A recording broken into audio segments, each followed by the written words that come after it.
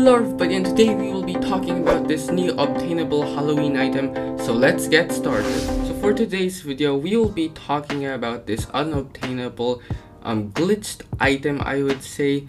Everyone calls it the glitched pumpkin seed. Now I have 6 on them in my inventory.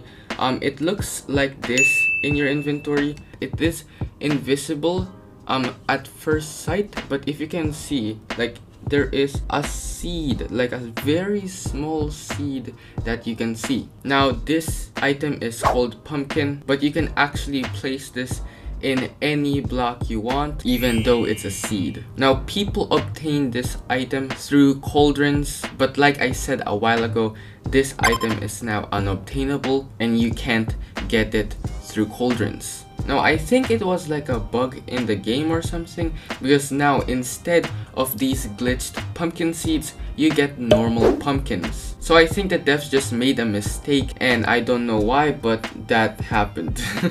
um, I have 6 so I'll place one somewhere. I'll probably regret this but um, as you can see I won't place it but you'll be able to place it anywhere you want. This is not grass, this is not dirt or anything, but you can place it in black clay and any block you want. Now if you want these, I think they're going for a couple of million right now and it's unobtainable so the price will just go higher and higher. So if you want one of these for yourself, I suggest you to buy it right now since it will just go higher and higher. And if you have one right now and if you only have like a couple, I suggest you to keep it and sell it once it's at its peak or something.